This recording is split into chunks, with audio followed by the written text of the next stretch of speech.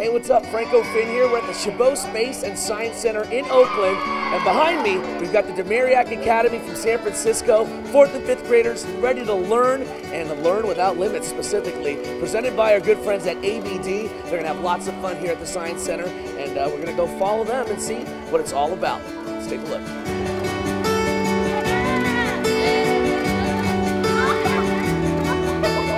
Obviously, the kids are having a blast learning about science and technology. I have Malat over here.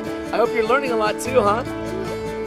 Yeah, I just learned that astronauts um, they exercise by lifting their um, shoulders.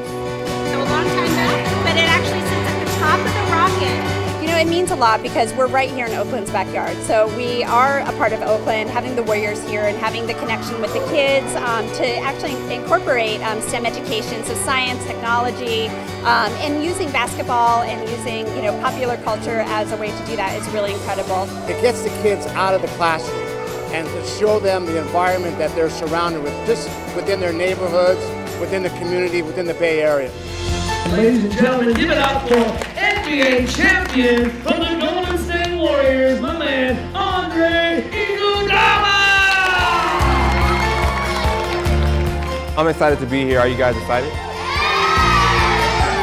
It's similar to basketball. You know, you want to have games, you win by a lot, games you win close, you learn things. So when the kids step out the classroom and go to different environments, see different people, uh, it opens their eyes to something new and they have fun with it.